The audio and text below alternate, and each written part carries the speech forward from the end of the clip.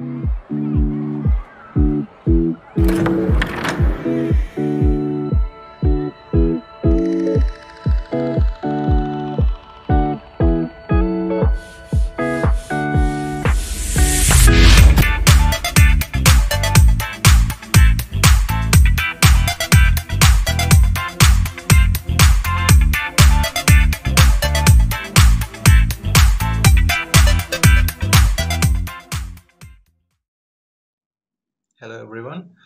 to SJ's classes.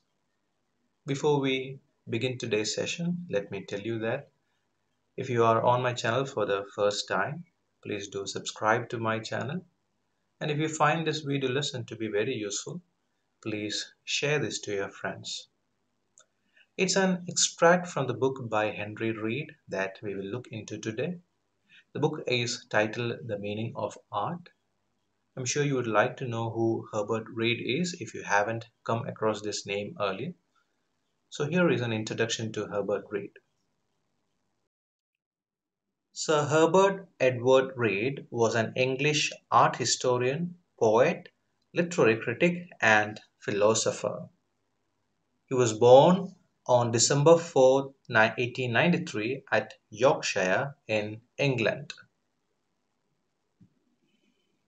His first book, Collected Poems, was published in 1926. Some of his early notable works are The Innocent Eye, 1933, The Contrary Experiences, 1963, and Naked Warriors, 1919. After World War I, Read worked in the ceramics department at the Victoria and Albert Museum in London for a period beginning in the year 1922 and ending in 1931, which was an experience that initiated his career in the visual arts. He later wrote many critical works on art like Art Now, which came out in 1933 and was revised a couple of times later on, Art and Industry 1934, Art and Society 1936, Education Through Art, which is one of his most popular works, 1943, and The Philosophy of Modern Art, 1952. As we read his biography, we understand that he was influenced by a host of writers and critics of his period like Wordsworth, Pound, Marianne Moore, William Carlos Williams, T.S. Eliot, etc. We also understand that he regularly contributed to T.S. Eliot's journal Criterion. He even had a strong friendship with the Indian author Mulk Anand, which Anand writes about in his conversations, uh, which in his memoir, memoir titled Conversations in Bloomsbury, which came out in 1981. He was also instrumental in founding the Institute of Contemporary Arts, of which he has been the president. He died on June 12, 1968 in London. That was a brief biography of the author now here is something about the book that we are about to discuss today. The book is titled The Meaning of Art. It was published in 1931 and since its first appearance in 1931, Read's Introduction to the Understanding of Art has established itself as a classic of its kind. It provides a basis for the appreciation of paintings, sculpture, and art objects of all periods by defining the elements that went into their making. The book also provides a concise survey of the evolution of art from cave drawings to modern paintings of its times and also summarizes the essence of art movements such as Gothic, Baroque, Impressionism, Expressionism, Surrealism, Tachism, etc. We don't have to learn the entire book, rather I wouldn't be discussing the entire work. It's just a portion of it that uh, I will read. To be precise from page number 17 to 14 in these pages what we find is an attempted uh, definition of art an elaboration of art and beauty and various components and or elements that uh, constitute what you call as art. So these are some of the Uh, concepts that you will find as we read along. I would like to remind you that I have incorporated only the important points from the extract in this video lesson. I have given a link in the description box if you would like to read the extract as such you can use the link that I have given in the description box. Alright, then let's start reading the work and try to interpret the different concepts that Henry Read has mentioned in this particular work. I will discuss the first 10 paragraphs in this video lesson and the remaining 15 would be discussed in the second part of this video series. So the very first paragraph is what he calls as a definition of art or rather it's from this particular uh, paragraph that we will get something like a definition of art. The simple word art is most usually associated with those arts which we can distinguish as plastic. Plastic here refers to any art form which involves modeling or molding in three dimensions. So normally the word art is used to address the plastic or visual art forms. But Read says that properly speaking, it should include the arts of literature and music. So Herbert Read is of the opinion that when you say arts, it is not just molding or modeling or painting or architecture alone. The concept art must also include areas like music and literature.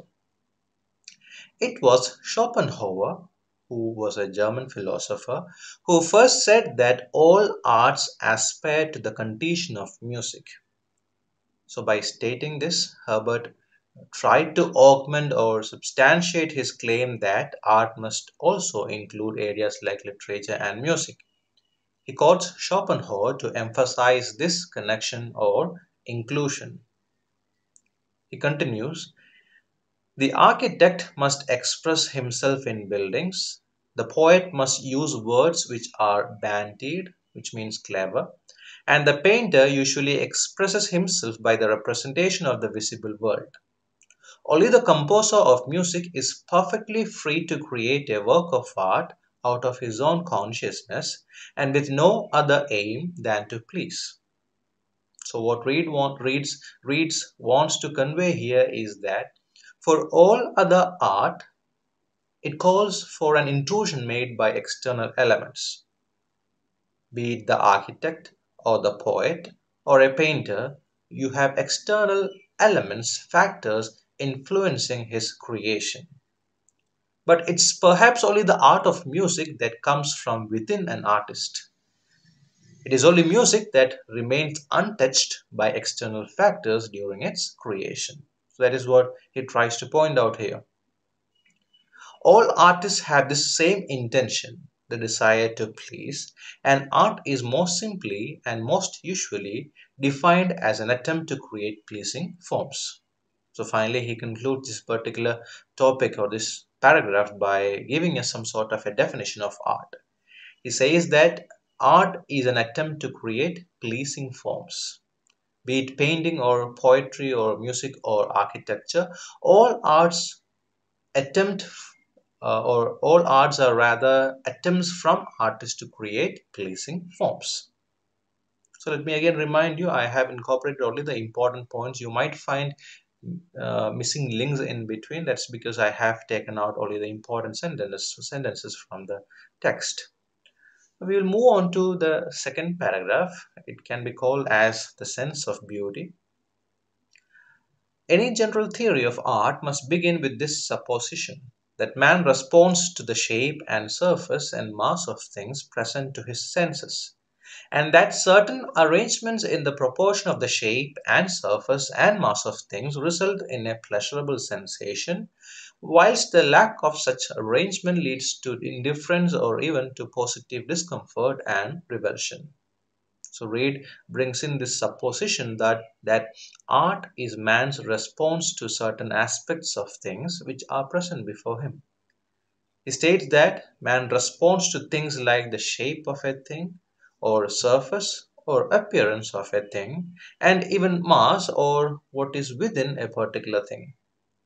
It is by an arrangement or rearrangement of these aspects that he sees before him that he creates a pleasurable sensation or revulsion. Revulsion means an intense, uh, intense aversion. and all these are created in the spectator or audience so it's basically by an arrangement or rearrangement of these aspects like surface or appearance shape of a thing uh, mass or what is within that thing that he creates an intention intense aversion or a pleasurable sensation in the spectators or audience the sense of pleasurable relations is the sense of beauty the opposite sense is a sense of ugliness. So this is where he distinguishes between that which is beautiful and that which is ugly.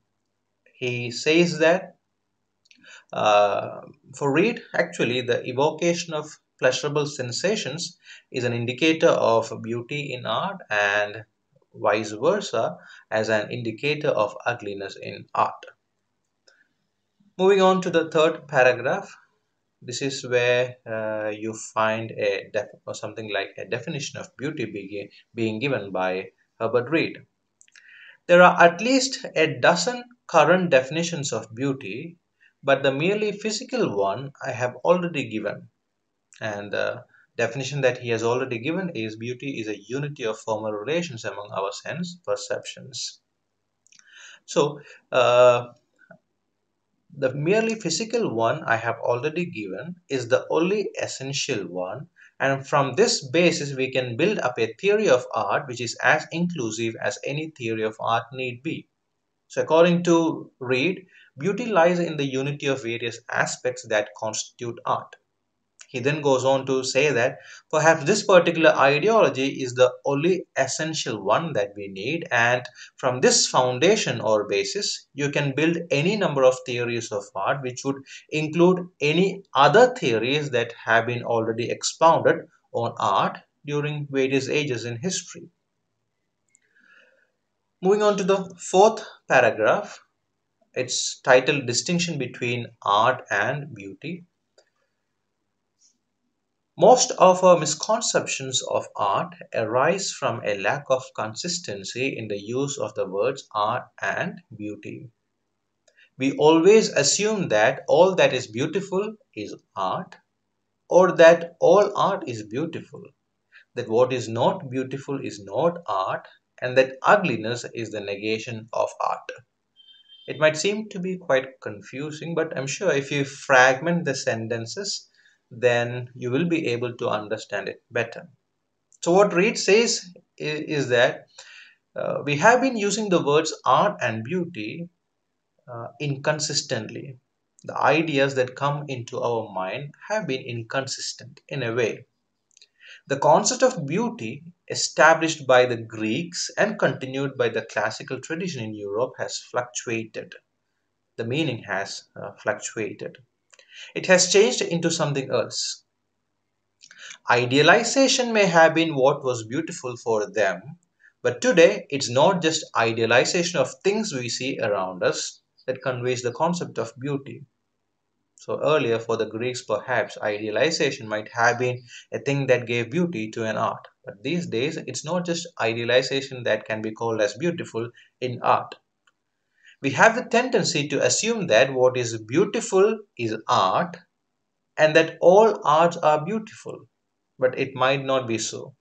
It is not what that what is not beautiful is art.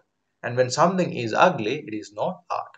So this is what what ha- what has been consistent inconsistent as far as uh, Read sees it now for us what uh, is beautiful is art and what is not beautiful or what is ugly is not art so there has been inconsistencies with respect to this attitude that uh, history has been offering art.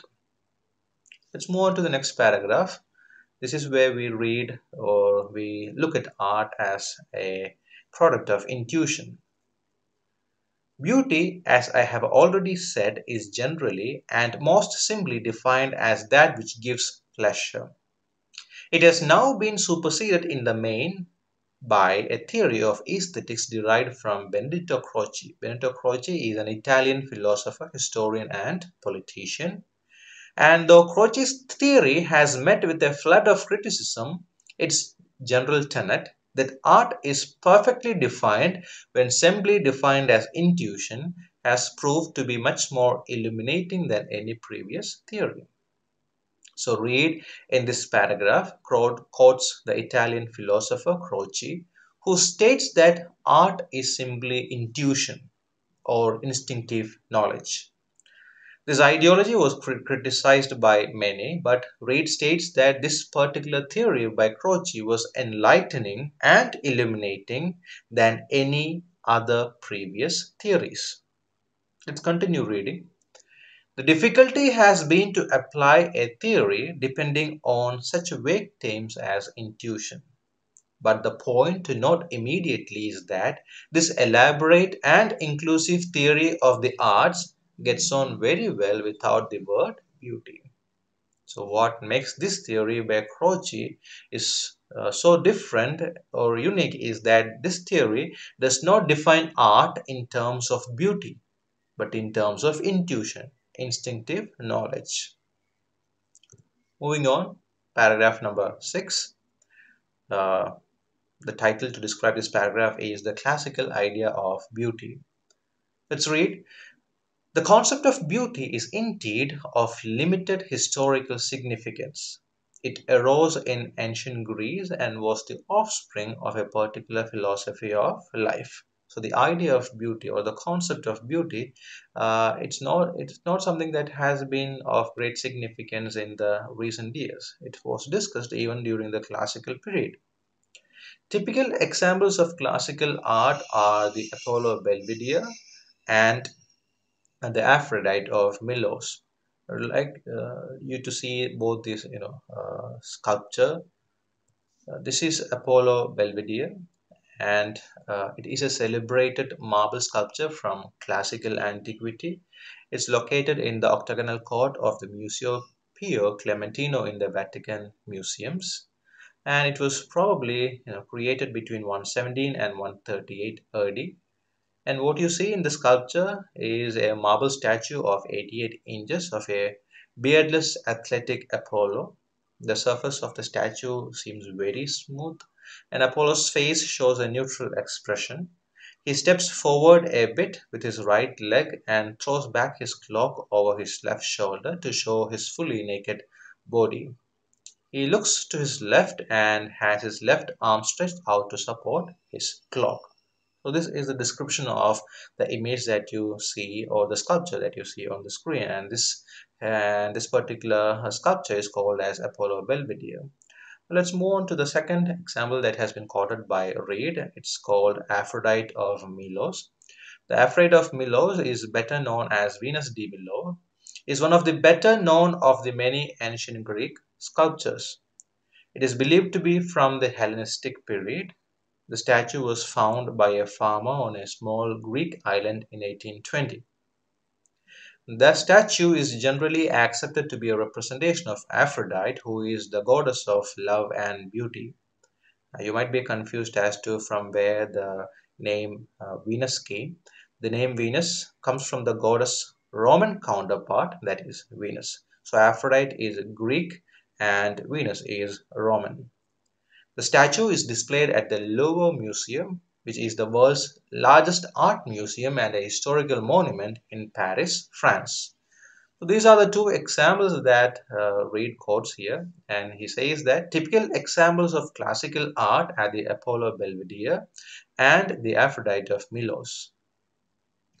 Um, these are perfect examples or ideal type of humanity or these you know, sculptures they give, give us ideal types of humanity uh, perfectly formed perfectly proportioned noble and serene and in one word beautiful. This type of beauty was inherited by Rome and revived at the Renaissance so what Read is attempting to convey here is the is that the concept of beauty as far as the classical antiquity or period is concerned, you know, and he even gives us representative examples that he suggested that are perfectly formed, perfectly proportioned, noble and serene in appearance. Uh, and these are the kind of artworks which uh, in word can in one word can be defined as beautiful this concept of beauty lasted till the Renaissance period. A Greek Aphrodite, a Byzantine Madonna and a savage idol from the New Guinea or the Ivory Coast cannot one and all belong to this classical concept of beauty. So what the classical period as so as beauty may not be applied to certain you know uh, artworks which might you know belong to some other geographical area or to, to some other period of time. The last one at least if words are to have any precise meaning, we must confess to be unbeautiful or ugly. And yet, whether beautiful or ugly, all these objects may be legitimately described as work of art. So what Read does here is he quotes a few other paintings and idols which were created later down in the history and states that if you attempt to understand beautiful in such artworks in terms of the you know concepts that were prevalent during the classical antiquity or the concept of beauty which was prevalent during the classical period then you will miserable fail as the concept of beauty changed as we go further down the years in history Paragraph number seven art is not uniform. That is what he tries to convey through this particular paragraph. Art, we must admit, is not the expression in plastic. I explained to you this term at the very outset of the, the, the, the extract. Uh, it means you know, modeled or sculpted artworks. Art, we must admit, is not the expression in plastic form of any one particular ideal. It is the expression of any ideal that the artist can realize in plastic form. So he uh, Read says that to see art in a restrictive sense is not right. Uh, it is not a representation of an ideal thing or concept. Anything can be portrayed ideally by an artist. Moving on to paragraph number 8, it's titled Art and Aesthetics. The abstract sense of beauty. The abstract sense of beauty means, you know, that sense which exists only in the mind. The abstract sense of beauty is merely the elementary basis. Elementary basis means the most, the most basic aspect. So the abstract sense of beauty is merely the elementary basis of the artistic creativity. The exponents of this activity are living men and their activity is subject to all the cross currents of life. And then Read goes on to describe the three stages involved in the process of artistic creation. He states that there are three stages.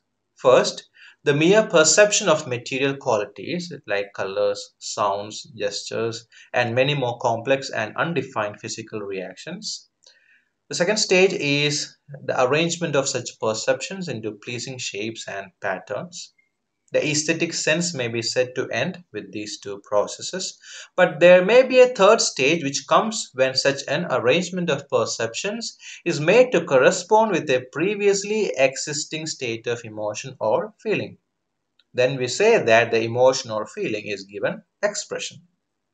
So Read here kind of theorizes the process of artistic creation by bringing in a methodology or process through which art is created. In the first stage, you have a perception regarding the material things that contribute towards your art. There might be things like colors, sounds, gestures, physical responses. And then in the second stage, you as an artist arrange all these perceptions into pleasing shapes and patterns, which is art. A third stage develops when the artistic work that you have created forms a medium through which you have expressed your previously existing emotions. So these are the three stages of you know, artistic creation as far as uh, Read is concerned. Let's continue reading. According to Croce, I quoted Croce earlier. Like I said earlier, he is an Italian philosopher and historian. According to Croce, expression is the basic creative act in, the, in all the arts. The work of art comes into existence with the act of incarnation, that is to say, at the moment the artist finds the words or other media to express his emotions or state of mind. So art, uh, as Read puts it, or quoting Croce, can basically be expression expression of an artist's emotion or state of mind which the artist expresses through words of any suitable words or any other suitable media Uh, we get yet another attempted definition of art here and to yield this purpose, he quotes Croce, who believed that expression is the basic creative art act in all the arts. However, Read points out that Croce does not make a clear distinction between expression that we call beautiful and expression we call ugly. A formless or informal expression may or may not deserve to be called a work of art. So uh, both Read and Croce says that art is basically expression, but Read points out that Croce does not gives us a clear distinction between what we call uh, good in art and what we call as ugly, perhaps in or out of art. Moving on to the ninth paragraph, which can be titled as Form and Expression. The permanent element in mankind that corresponds to the element of form in art is man's aesthetic sensibility. So it is uh, man's aesthetic sensibility or his sensibility towards or about beauty that has corresponded towards the element of form in art. Sensibility as such we may assume static. So our sensibility you it remains changed. It, it remains unchanged. What is variable is the interpretation which man gives to the forms of art which are said to be expressive when they correspond to his immediate feelings. So Read says that such sensibility or the sensibility that we have towards art does not change. It remains static.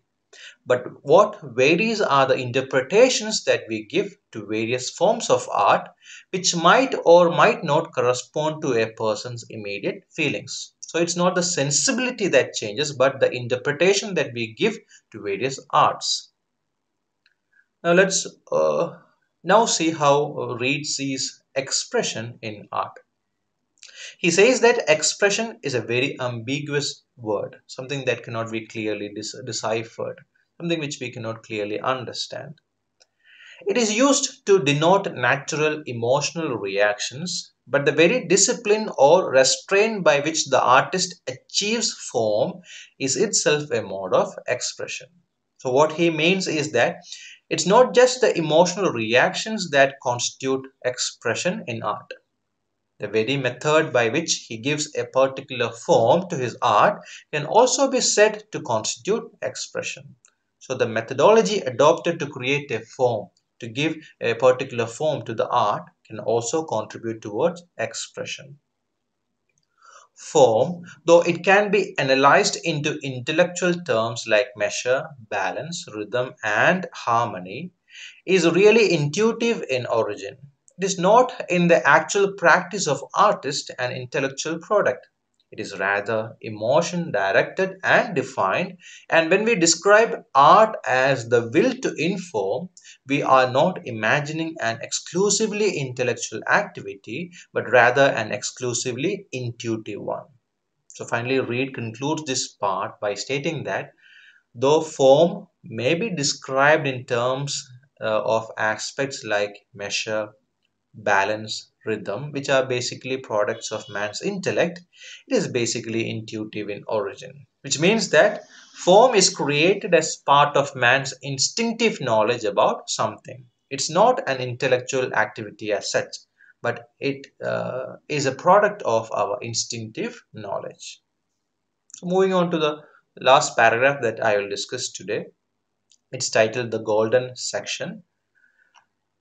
Since the early days, of Greek philosophy, men have tried to find in art a geometrical law, for if art is harmony and harmony is the due observance of proportions, it seems reasonable to assume that these proportions are fixed.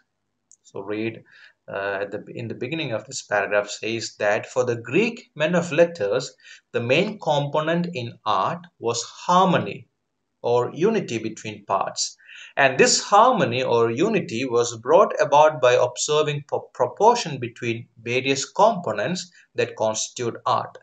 And they wanted these proportions to be fixed as any alterations could destroy the harmony in that particular work of art. Let's read further.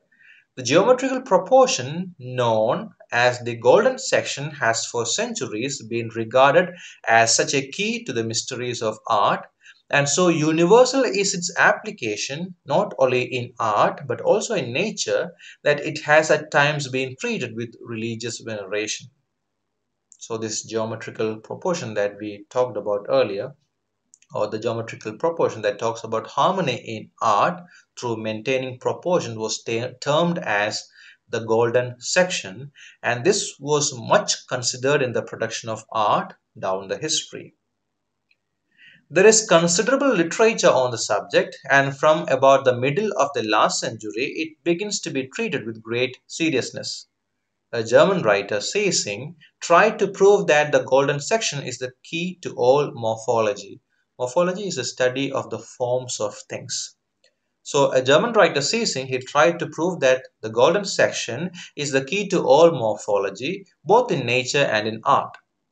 Gustav Theodor Fechner, a German experimental psychologist, philosopher, and physicist, who was the founder of experimental aesthetics, whose principal works were published in the 70s, made it one of the foremost objects of his research. So we have people like Zeising, who was a German writer, and Gustav Theodor Fechner, another German experimental psychologist and philosopher. They even made uh, intensive research on this particular idea called the golden section. All right, so uh, since then, practically every work on aesthetics includes some consideration of the problem. So Read points out that the idea of golden section did not end with the classical scholars. It was followed and practiced and even researched later on by philosophers and writers uh, of the 19th century like uh, the German uh, psychologist Adolf Zeising and the German experimental psychologist uh, Gustav Theodor Fechner. And Read continues to cite examples that uh, followed this particular ideology of the golden section. The pyramids of Egypt have been explained by it and the Gothic cathedral. Gothic cathedral refers to religious buildings that were created in Europe during the mid 12th century and at the beginning of uh, 16th century. And these constructions, these architectural marvels can be explained or interpreted uh, using the golden section the relation of the length of transept he even gives some of the technical ideas that incorporate that were incorporated uh, into the construction of these um, gothic cathedrals. Uh, Read says um, the relation of the length of transept and trans transept is the structure forming the transverse part of a cruciform church. Cruciform church is a church that is constructed in the shape of a cross so the relation of the length of transept to nave, nave is the central area of a church, of column to arch, of spire to tower. Spire and tower have the meaning. Uh, spire is refers to a tall tower. So from the spire to tower and so on, all have can be explained using the golden section. The proportion is also used very frequently in pictorial art the relation of the space above the skyline to the space below, of foreground to background, and equally of various lateral divisions follow the golden section. The paintings of Piero della Francesca, who was an Italian painter of the early Renaissance, are extreme examples of geometric organization. So this is where uh, the, the uh, the discussions regarding the golden section comes to an end. So it was something which was practiced by the classical uh, thinkers and uh, artists, uh, and it was also later on handed down to various other uh, artists which we confront uh, uh, down the history. So this is where we will, rather I will end the discussion in this particular video lesson. Thank you so much for patiently listening to me. Please do look for the part 2 of this video series which I will post soon on my channel. Thank you so much. I'll see you in another video lesson.